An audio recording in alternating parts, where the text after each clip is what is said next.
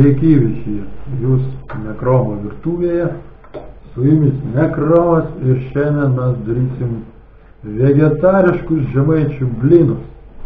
Ko mums reikės? Na, žinoma, su lupenom virtų bulvių. Po to žalių trakuotų morkų, paprikos, žirnelių konservuotų, krakmolo bulvių, svogūnų, česnakų, druskutės, aišku, ne viso pakelio, kiaušinio, aliejus, šį, šį kartą naudosim rapsų, sviesto, grėtinės padažą. Bulves malom su mėsmale.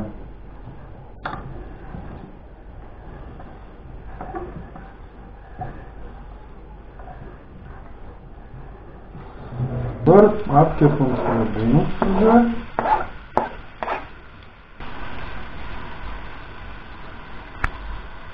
Va, tai tapo svogūnai. Pridedam morkų. Tai taip apkepinam morkas su svogūnai. Įdedam česnakus. Toliau apkepinam mūsų daržovės. Dedam papriką. Tai taip toliau apkepinam mūsų daržovės. Darom įdarą mūsų žemaičių blyną. Dedam konservuotus žirnelius. Šiaip geriau dėti šaldytus. Tada bus žymiai skaniau. Dabar darom tešlą. Įmušam 3 kiaušinius. Įdedam 3 krakmolo šaukštus. Dabar visą tai iš pradžių maišom šaukštų, po to rankomis, kol gaunam vienalytę masę.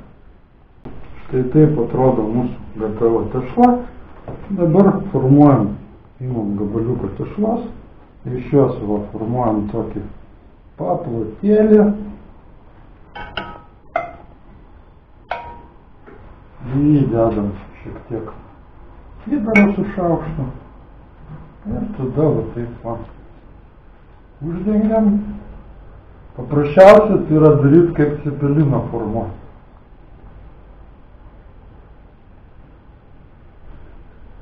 Dabar mūsų žemaičių blinus dedam į keptuvę. Dabar atvirkčiam. Ir kepam iki tokio malonaus apskrydimo. Dabar darysim padažą. Dedam gerą gabalą sviesto į įkaitintą keptuvę. Pridedam grėtinus. Štai taip atrodo mūsų padažiukas ir druskinam pagal skonį. Taip, mano degustatoriai su jumis. Ir tai mano mama, kaip matot, vyresnė. Ir baltų mėgstukų mano dukrytė.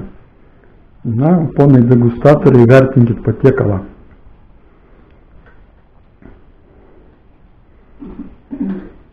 Labai skanu. Minkšta. Labai gerai. Malonu valgyti. Mhm. Tai tu garsiau sakyk. O kaip įdaras? Švelnus labai. Lengvas maistas. Mhm. Na, štai tokie buvo įvertinimai. O jums sėkmės, sveikatėlės, bandykit, gaminkit.